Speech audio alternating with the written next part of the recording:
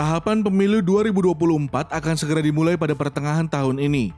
Dalam pengantar sidang Kabinet Paripurna 9 Mei di Istana Negara, Presiden Jokowi meminta jajarannya bekerja dengan baik sehingga tahapan pemilu bisa berjalan dengan lancar.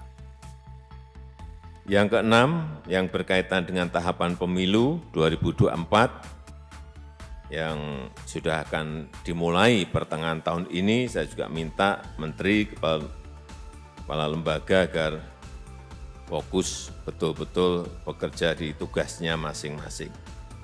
Jokowi meminta menteri dan kepala lembaga negara tetap fokus dalam bekerja agar agenda-agenda strategis nasional yang menjadi prioritas dapat dipastikan terselenggara dengan baik.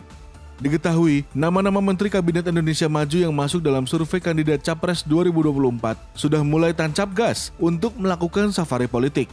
Deputi 5 Kantor Staf Kepresidenan, Jaleswari Pramodawardani mengatakan, tugas menteri yang harus tegak lurus menjalankan agenda Presiden Jokowi di tengah dinamika politik menjelang pemilu 2024.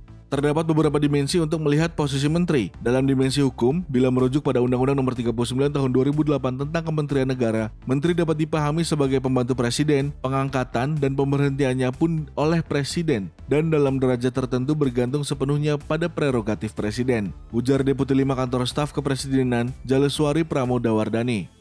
Wakil Ketua Komisi 2 DPR RI, Junimart Girsang membenarkan pihaknya akan melakukan pembahasan peraturan KPU atau PKPU soal jadwal tahapan pemilu dan pilkada serentak 2024 di masa reses pada 12 hingga 14 Mei 2022 bersama Komisioner KPU dan Bawaslu. Nantinya, dalam konsinyering tersebut akan dibahas mengenai program, pembuatan anggaran, hingga tahapan pemilu dan pilkada serentak 2024.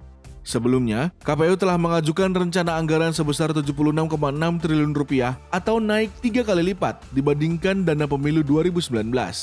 Sementara itu, Badan Pengawas Pemilihan Umum atau Bawaslu mengajukan rencana anggaran sebesar 33,8 triliun rupiah. Kedua anggaran itu untuk pemilu 2024 dan pemilihan umum kepala daerah atau pilkada serentak 2024 yang totalnya mencapai 110,4 triliun rupiah.